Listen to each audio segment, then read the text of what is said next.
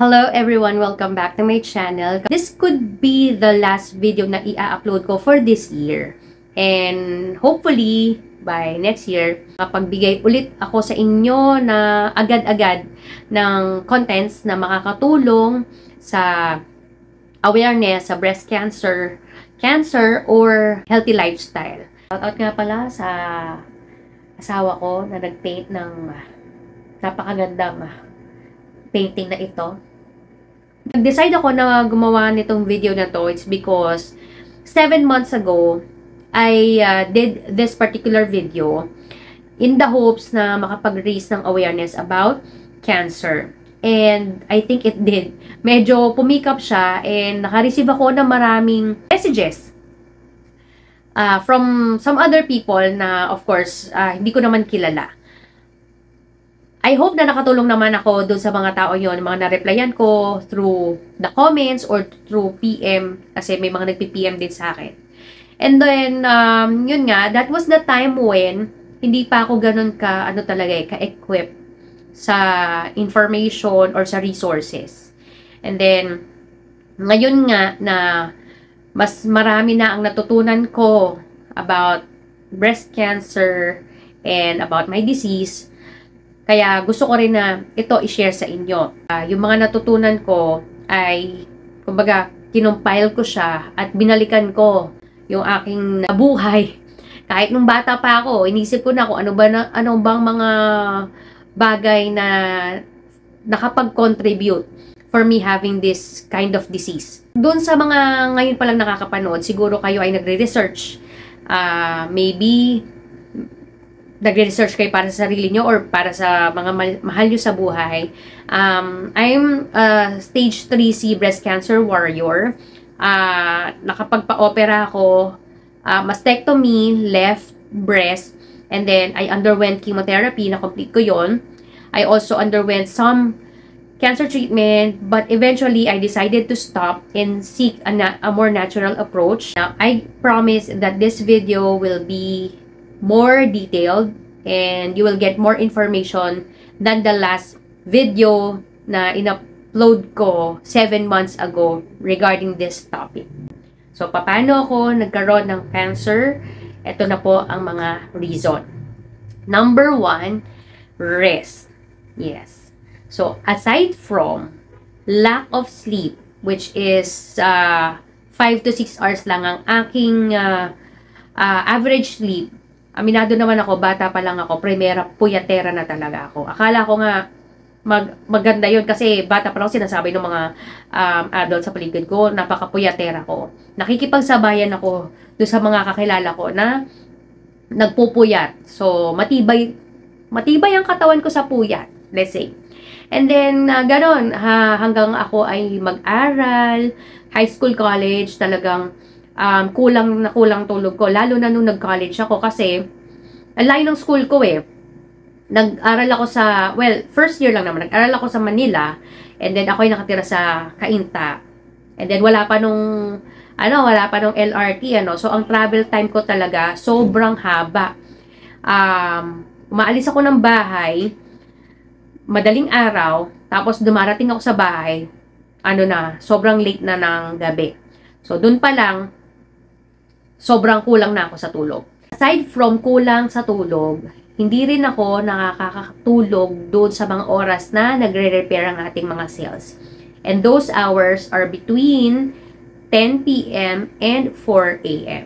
Kahit pa nung time na ako ay nagtatrabaho uh, sa morning shift, hindi ko rin naman masabi na, na natutulog na ako by 10 p.m. eh. Nakakapagpuyat pa rin ako. And then, ang aga kong aalis sa bahay. Kaya, I, I believe before 4 a.m. gising na ako. So, hindi ko talaga na ma-maximize yung tulog na yon. And then, eto na nga, uh, bumalik ako sa graveyard shift. Um, yon sa papalit-palit ng shift ko, minsan may pasok na ako ng as early as 8 p.m. Hirap makakuha ng tulog kapag uh, sa umaga or tanghali. Yun pa, pa minsan paputol-putol pa yung tulog. Hindi siya yung uh, matutulog ka ng isang buong mahaba. So, dun pa lang ma- mahirap na yon eh para sa katawan kasi sabi nga, 'di ba? Uh, ang katawan dapat diretso ang tulog, hin- kapag ka ikaw ay pagising-gising, hindi rin nakukuha ng katawan mo yung pahinga na dapat niyang makuha. Ito na ang pangalawang reason. Hmm. Peace sign. Food. I'm sure medyo maraming aaray dahil makikita nyo sa akin yung diet nyo na sa ngayon pa lang, sasabihin ko na sa inyo, may sakit man kayo o wala, dapat ay ayusin nyo na. Unang-una, mahilig ako sa processed food before. Okay? Lagi kong kasama sa grocery list ang hotdog, ang luncheon meat, ang nuggets, uh, ang tosino, ayan, uh, canned tuna, and pati sa mga anak ko, napapakain ko mga to. Kasi nga, syempre, yun yung, ano ko eh, yun yung binibili ko sa grocery. So, syempre, yun din ang kakainin nila, di ba? So, processed food, um, hindi yun limited lang sa mga nasa uh, frozen meat section or sa mga delata ha. Maraming klase ng processed food. Ang mga high in sugar na pagkain. So, hindi lang ito limited sa soft drinks, sa sa mga ano ba, mga cake, hindi lang to. Kasi maraming mga pagkain na high in sugar na hindi natin nare-realize. Kagaya ng, halimbawa, kung mahilig kayo sa yung mga iniinom na lactobacilli, Shirota strain, di ba? Akala natin um, ito ay makakaigi sa inyong tiyan. Pero hindi natin alam, ang daming sugar nito. So, ang dami. Nung in-eliminate ko ito sa uh, aming diet, um, I realized na oo, yung katawan ko nag-adjust. Hindi ko na hinanap-hanap ang sugar. And eventually, uh, kahit na siguro lapagan ka pa dyan, hindi ka na matetempt fast food. In which, yan.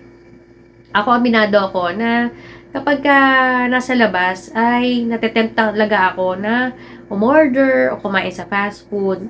And kapag nandito naman sa bahay, magpa-deliver to the point na minsan aalokay ko pa yung mga anak ko, gusto nyo ba? Or ganyan. Siyempre, alam ko, sasabihin nila yes. So, ako naman magpapa-deliver. So, ayun, mahilig ako sa mga ganong klase na pagkain and even junk foods. Yan, ang taa ang taang lakas ko mag-take ng mga uh, junk foods. So, kapag halimbawa, uh, may isang malaking pack ng junk food, kaya ko yun ubusin, mag-isa lang ako. Next, napansin ko sa diet ko ay low in fiber ako. So, mas mataas ang take ko ng mga meat instead of mga gulay. Kumakain ako ng gulay. Pero hindi ganon na, kumbaga, ganon ka, mas marami ang portion ng gulay at mas madalas ang gulay compared sa mga meat like pork, uh, chicken, ayan. So, uh, ingredients na hindi organic or uh, merong halong preservatives, may halong uh, pesticide kung ito man ay gulay or yung mga uh, punong-puno ng MSG. Ayun. So, akala ko dati, um, ang basta bumili ka ng gulay ay makakabuti na ito sa katawan. Hindi ko naisip until yun nga na-educate ako na minsan may mga gulay na kailangan mo rin iwasan, hindi dahil sa masama ang epekto nito, kundi dahil saan ba ito nanggaling? Um, ito ba ay na-sprayan na ng mga chemicals, ng pesticide, para lang ma-preserve ang kanyang shelf life at para dumating ito sa palengke or supermarket na maganda pa ang itsura niya. Pansin ko na ang diet ko ay mataas sa trans kaya hindi na rin ako magtataka na isa ito talaga sa mga factor kung bakit ako ay may sakit. Third sa mga factor na ito ay hydration. Yes po. Malimit pag-usapan ng hydration when it comes to uh, mga sakit. Pero tama eh, merong reason kung bakit tayo pinapainom ng 8 glasses of water per day. Ngayon, ako, hindi ako nakakaabot doon nung before. Lagi kong sinasabi sa mga kakilala ko, parang magkagalit kami ng tubig. Ayoko kasi uminom ng inumin na walang lasa. So, syempre, ano nga ba ang iinumin mo? Yung may lasa, ano nga ba mga may lasa? Oh, soft drinks, juice, coffee, ayan. Actually, yung lagi kong joke dyan is parang coffee na yung dugong dumadaloy sa katawan ko. Sa sobrang lakas ko mag-coffee. So, dehydrated ako. Babasahin ko sa inyo para hindi ko ma-miss out itong sinulat kong notes ha. Ang hydration kasi ay importante when it comes to metabolic process, nutrient transport, immune factor, waste removal, and crucial para sa cellular functions that simply cannot occur kung walang water. Ngayon, paano ko ba nalaman na dehydrated ako? Unang-una, very obvious sa akin, my urine color. Nasanay ako na umiihi ako na heavy dark yellow ang urine ko, which kala ko ganun talaga. Hindi ko na-realize na dapat pala light lang siya. Tapos, constipated ako. And kapag constipated ka, hindi na fa-flush out or hindi mo natatanggal yung mga dapat na wala sa katawan mo on a daily basis. And dahil nga, kulang ako or dehydrated ako, I also have food cravings. Hence, ito na nga ang explanation kung bakit yung mga certain foods, eh, malakas ako. Uh, Siyempre, malakas makapagpa-crave lalo yung mga fast food, yung mga processed food, yung mga matatamis. I also have allergies like um, allergic rhinitis, um, asthma, and skin allergies. Meron ako. I have allergic contact dermatitis, which akala ko is uh, part lang kasi dahil nga, yun nga, meron akong asthma. And hindi ako educated na ito nga pala ay dahil lang sa kulang ako sa hydration simula bata ko until before I got sick. Andiyan na rin yung common na nararamdaman ko na fatigue na akala ko normal lang din dahil uh, siguro sa pagod sa trabaho or sa ba- sa bahay and yung back pain. Hindi ko alam na hindi pala normal ang mga ito. Akala ko ganun lang talaga siya. Hindi ko siya binigyan or pinagtuunan ng pansin na simpleng tubig lang pala ang kailangan ko para makaiwas sa mga ito. Fourth ay ang toxins or chemicals. Umpisa na natin. Sa food pa lang, puno-puno na ng toxins ang mga kinakain ko. Or puno-puno na ng chemicals. Diba? O, babalikan pa ba natin? Yung mga processed food, yung mga um, junk food, puno-puno yan ng toxins and chemicals, di ba? Tapos, preservatives din. Now, yung, la, yung latest ko na video about um, mga hot drinks, di ba? So, mahilig ako mag-order ng aking drinks sa sa mga coffee shop tapos nasa paper cup which doon pa lang ang dami ng nangyayari. Ang dami ng chemicals na na kukuha doon sa cup tapos iniinom ko. Dami-dami pagdating sa pagkain ang kailangan nyo i-consider bago nyo kainin. And it is worth na mag-invest kayo ng time na aralin nyo ang mga to kesa naman gagawin nyo to kapag ka nagkasakit na kayo. Next na chemical na ginagamit ko ay sa aking katawan. Okay, so, yung mga products na hindi organic, like my hair care, my skin care. Mabot pa ako sa point na nag-10 step Korean skincare routine ako before. And di ko sa sinasabi na masama yung 10 step Korean skincare na yan. Ang sinasabi ko is, gumamit ako ng mga products na I think hindi ko talaga masyadong pinag-isipan kung ito ba ay okay at hindi ko man lang pinag-isipang i-check ang mga ingredients na to kung ang mga yun ba ay makakasama na sa aking katawan. Of course, whatever you put on your skin, na-absorb yan ng katawan natin. ba diba? And um, sa hair, uh, if I remember it right, isang beses lang ako nagpa rebond. Nung pinaayos ko lang yung kulot ko. Nung kumbaga nagsawa na ako sa kulot. Pero madalas akong magpakulot. Kasi nga syempre, naturally straight ang aking buhok. Madalas akong magpakulot. And naalala ko noon, sobrang uh, tapang nung gamot sa kulot. Yung mga bagay na hindi ko rin na-realize na masama nga. Kasi na, na, pag na-inhale mo pa lang yun, alam mo, ang sakit na sa ilong eh, di ba? So, um, also, nail polish. Ang hilig ko magpa-nail polish noon. Halos um, every two weeks, nagpapa-nail salon ako, nagpapa-nail polish ako. And sometimes, syempre, ang ginagamit ng mga nail polish, eh, hindi naman yung mga organic nail polish, di ba? Next ay ang makeup.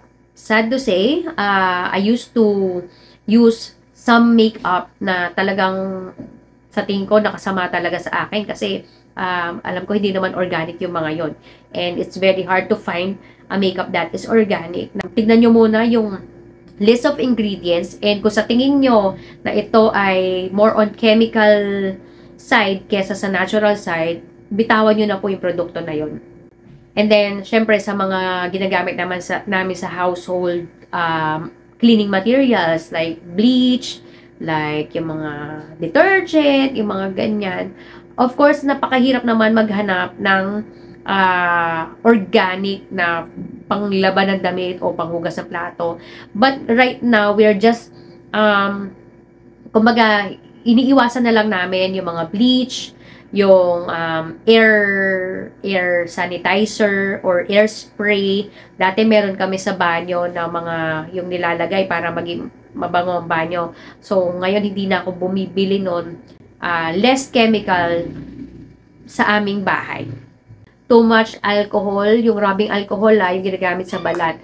Napaka uh, dalas dalas kong gumamit ng alcohol. Inu I used to say hindi pa usong COVID, usong-uso na sa akin ng alcohol. So kada konting kibon, mag-alcohol ako sa kamay. Tapos um, sa mga ginagamit ko, limbawa sa office, mag spray muna ako sa aking chair, sa aking keyboard and all. Not realizing na ito ay may harmful ingredients din pala. Next ay ang movement. So, because of the nature of my work, lagi lang ako nakaupo and wala akong regular physical activities na nagaganap. And even before nung bata-bata ako, yes, I do play uh, sports. Actually, marami akong sports na nakahiligan. Pero hindi ako yung tipo na talagang natagal doon sa sports na yon. And I remember kapag ka vacation, nung high school or uh, yeah, even elementary, pag vacation, nasa bahay lang talaga ako. And then, ayun, nanonood ng TV, kumakain ng junk food, nasa bahay lang, lumilipas lang ang oras ko na, na ganun, ganun lang. Kaya, no wonder talagang kulang talaga yung movement ko sa katawan. And then, ultimo paglalakad, ay kakatamaran ko pa. Lalo na nung ako ay natuto na mag-drive, uh, syempre, hindi na ako nagko-commute. So, nag less ang lakad ko. Uh, unlike before na ako ay nagko-commute, syempre, papunta sa papunta sa sakayan or paghahabol ng jeep, paghahabol ng bus, paghahabol ng FX. So, at least, di ba, meron pang ganon. Next ay sunshine. Yes, ito nga yung isa sa mga ginawa ko na self-healing process. Ano. Isa ito sa mga na-take for granted ko before. And uh, hindi lang sa iwas na iwas ako sa araw, kundi naglalagay pa ako ng mga sunscreen, ng mga sunblock. And hindi ko na naisip na kahit papano ay kailangan naman pala ito ng aking katawan para uh, makapag-function din ng maigi. Lalong-lalo na to support the nutrients na kailangan ng aking katawan. Second to the last ay stress. Minsan sinasabi sa akin ng mga katrabaho ko na ma magaling daw ako mag-manage ng stress. Kasi totoo naman, pagdating sa work, I do not let uh, stress sa trabaho na mag-occupy ng aking uh, isip at ng enerhiya. So once I log out from my work, tapos na ako doon. Hindi ko na siya masyado iniisip. Pero syempre, there are times na may, may stress at masa-stress ka. And as much as gusto ko sabihin sa inyo na iwasan nyo stress, alam ko na isa ito sa pinakamahirap gawin. So, managing your stress will really help self-medication. So, ang hilig-hilig ko noon na mag-self-medicate kapag sumasakit ang ulo ko, which is halos every day sumasakit ang ulo ko, eh bakit nga ba sumasakit ang ulo ko? Dahil kulang ako sa water. So, sasakit ang ulo ko, iinom ako ng pain reliever up to the point na ang paracetamol ay hindi na enough para matanggal niya yung sakit ng ulo ko. And then, nagiging halos everyday ko na ang mefenamic acid na yun na lang talaga ang makakapagpatanggal ng sakit ng ulo ko. And I'm happy to say that since nag-start ako ng aking natural healing uh, process, ay hindi na ako umiinom ng mga synthetic na gamot para sa aking sakit ng ulo. In fact, um, parang um, napaka madalang or hindi na ako masyado talagang uh, sinasaktan ng ulo. Bakit? Kasi nga, hydrated na ako and uh, okay na ang physical activities ko and yung mga bagay na kinakain ko ay hindi na nakakadagdag para doon uh, self-medication, syempre, ang nasisira nito ay ang liver nyo, nagsasuffer ang liver. So, isa sa isa ang liver sa kailangan natin pag-ingatan kung gusto nyo makaiwas sa kahit anong sakit. Hindi lang particular sa cancer. Kahit sa anong sakit. Kasi kapag nahirapan ang liver, hindi niya man magawa ang kanyang uh, function, ito ay nagkukos na o nagsasanga-sanga na ng iba, ibang klase ng sakit. I know na medyo napahaba ng video na to, no? but I know that it will also help a lot of people who are in search for some answers on how they can avoid the disease or how they can actually beat the disease. So, thank you so much for watching this video. I hope that you give this a like kung nakatulong sa inyo. And kung hindi ka pa subscriber ng channel na to, please subscribe now and click that notification bell para mano-notify ka whenever I upload new videos. Until my next one. Bye!